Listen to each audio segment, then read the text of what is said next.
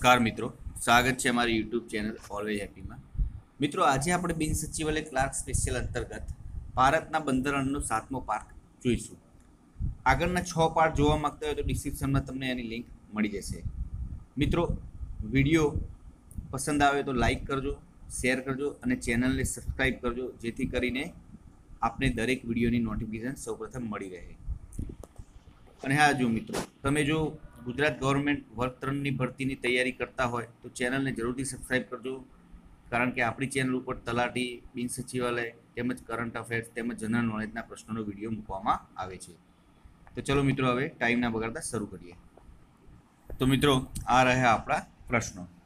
First question જાહેર સાહસ સમિતિમાં કુલ કેટલા સભ્યો હોય છે? તો જાહેર સાહસ સમિતિમાં કુલ પંદર સભ્યો હોય છે. બીજો ક્વેશ્ચન ખાસ તપાસ માટે રચાતી સંયુક્ત સંસદીય સમિતિ જેપીસીમાં કેટલા સભ્યો હોઈ શકે? જેપીસી જેપીસી મતલબ જોઈન્ટ પાર્લામેન્ટરી કમિટી એટલે કે સંયુક્ત સંસદીય સમિતિ. જે સમિતિ ખાસ તપાસ માટે રચવામાં આવે છે. તો, જેપીસી સમિતિમાં કેટલા સભ્યો હોઈ શકે છે? તો એકવીસથી ત્રીસ સભ્યો હોઈ શકે છે. ત્રીજો ક્વેશ્ચન ત્રીજો ક્વેશ્ચન છેલ્લે ટુ જી સ્પેક્ટ્રમ કેસ માટે રચાયેલ જેપીસીના ચેરમેન કોણ છે? કોણ હતા? તો ભાઈ, જે ટુ જી સ્પેક્ટ્રમ માટે કેસ માટે જે છેલ્લે જેપીસી રચાઈ, એના ચેરમેન શ્રી પીસી ચાકો હતા. ચોથો ક્વેશ્ચન કોની સહીથી ખરડો કાયદો બને છે? કોઈ પણ ખરડો હોય, રાષ્ટ્રપતિની સહીથી પછી કાયદો બને છે. પાંચમો ક્વેશ્ચન સંવિધાનની પ્રથમ બેઠકના અધ્યક્ષ કોણ હતા? સંવિધાનની જે પ્રથમ બેઠક ફર્સ્ટ બેઠક હતી, એના અધ્યક્ષ એ વખતે સચ્ચિદાનંદ સિન્હા હતા. છઠ્ઠો ક્વેશ્ચન રાજ્યસભામાં વિધાનસભાની સ્થાપના કઈ કલમ હેઠળ કરવામાં આવે છે? તો રાજ્યસભામાં, રાજ્યમાં, રાજ્યસભાની, રાજ્યમાં વિધાનસભાની સ્થાપના કલમ એકસો સિત્તેર હેઠળ કરવામાં આવે છે. સાતમો ક્વેશ્ચન અત્યાર સુધીની ટૂંકામાં ટૂંકી મુદતની લોકસભા કઈ છે? તો બારમી જે લોકસભા છે, અત્યાર સુધીની ટૂંકામાં ટૂંકી મુદતની, એટલે કે એકદમ ટૂંકા સમયની લોકસભા છે. આઠમો ક્વેશ્ચન રાજ્યનું મંત્રીમંડળ કોણે જવાબદાર હોય છે? તો રાજ્યનું જે મંત્રીમંડળ છે, એ વિધાનસભાને જવાબદાર હોય છે. નવમો ક્વેશ્ચન મુખ્ય ચૂંટણી અધિકારીની નિમણૂક કોણ કરે છે? તો જે મુખ્ય ચૂંટણી અધિકારીની નિમણૂક રાષ્ટ્રપતિ દ્વારા કરવામાં આવે છે. દસમો ક્વેશ્ચન જમ્મુ કાશ્મીર રાજ્યને કઈ કલમ હેઠળ વિશેષ દરજ્જો અપાયેલ છે? તો કલમ ત્રણસો સિત્તેર હેઠળ વિશેષ દરજ્જો આપવામાં આવેલ હતો, આવેલ છે. હવે તો જમ્મુ કાશ્મીરના કેન્દ્ર શાસિત પ્રદેશ કરી દેવામાં લદાખ અને જમ્મુ અલગ કરીને કેન્દ્ર શાસિત પ્રદેશ કરવામાં આવ્યા છે.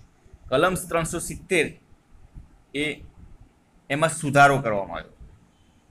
નરેન્દ્રભાઈ મોદીની સરકારે કલમ ત્રણસો સિત્તેરમાં સુધારો કર્યો. અગિયારમો ક્વેશ્ચન ભારતમાં પંચાયતી રાજ્ય અધિનિયમ ક્યારે લાગુ પડ્યો હતો? તો ચોવીસ એપ્રિલ ઓગણીસો ચોરાણુંના રોજ પંચાયતી રાજ્ય અધિનિયમ લાગુ પડ્યો હતો.